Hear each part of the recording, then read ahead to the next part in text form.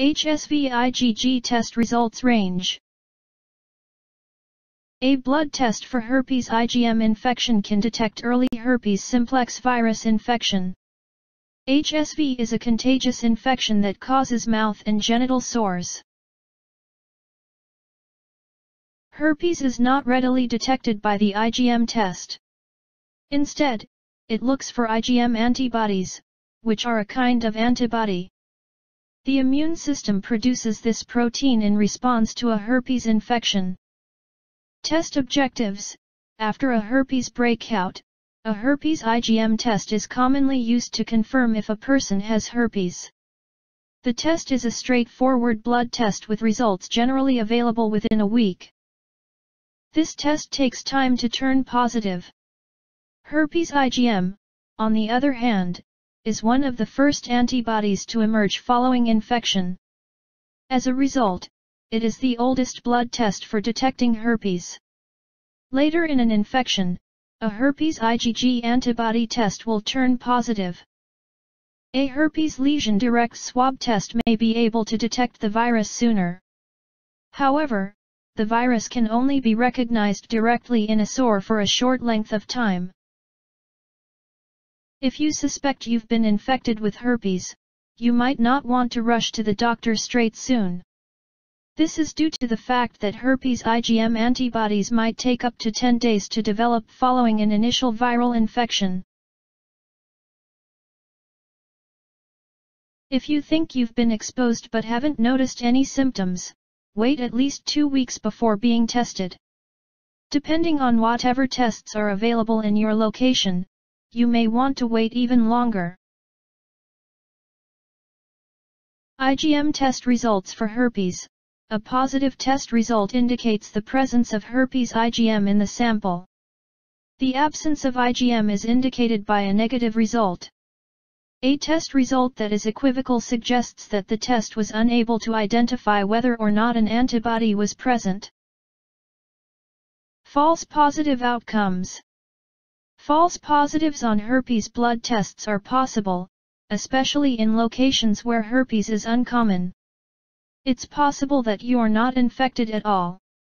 Alternatively, you might be infected with a virus that causes antibodies to cross-react with the herpes test. The Epstein-Barr virus, which belongs to the herpes viral family, or parvovirus, which causes fifth illness, are two examples. If you don't have any symptoms, you may wish to come back for IgG testing later. If you have symptoms, your healthcare professional can do a direct herpes test on the sores. It's unnecessary to wait for an antibody response. There is a chance that the herpes IgM test can give you false positive findings. If you haven't experienced herpes symptoms, your doctor may be hesitant to recommend the test. If you've had symptoms of a herpes breakout, a positive test is more likely to be correct. Components Antibodies against the herpes simplex virus. Type 1 and 2, IgG. HSV IgG test results range 0.89 or less, negative if there is no detectable HSV IgG antibodies. 0.90 to 1.09, equivocal, IgG antibodies may be present. It's possible that repeating the test in 10 to 14 days may be beneficial. 1.10 or higher, positive, HSV IgG antibodies identified, indicating a present or previous HSV infection. Components Antibodies to the herpes simplex virus type 1 and 2, IgM, by ELISA. HSV IgG test results range 0.89 or less, negative if there is no detectable HSV IgM antibodies. 0.90 to 1.09, equivocal, IgM antibodies may be present. It's possible that repeating the test in 10 to 14 days may be beneficial. 1.10 or higher, positive if IgM antibodies to HSV is identified indicating a current or recent infection. Low levels of IgM antibodies, on the other hand, might sometimes last more than a year after infection. Components Glycoprotein G-specific antibody, IgG herpes simplex virus type 1 by ELISA. HSV IgG test results range 0.90 or less, negative if there is no detectable IgG antibody to HSV type 1 glycoprotein G.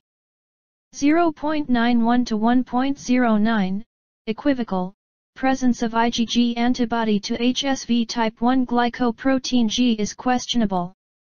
It's possible that repeating the test in 10 to 14 days may be beneficial. 1.10 or higher, positive if IgG antibody to HSV type 1 glycoprotein G is identified indicating a present or previous HSV infection. Components Glycoprotein G specific antibody, IgG, herpes simplex virus type 2 by ELISA. HSV IgG test results range 0.90 or less, negative if there is no detectable IgG antibody to HSV type 2 glycoprotein G. 0.91 to 1.09, equivocal IgG antibody to HSV type 2 glycoprotein G may be present. It's possible that repeating the test in 10 to 14 days may be beneficial. 1.10 or higher, Positive if IgG antibody to HSV type 2 glycoprotein G is identified indicating a present or previous HSV infection. Thank you for watching. And please subscribe to my channel for my upcoming herpes treatment videos.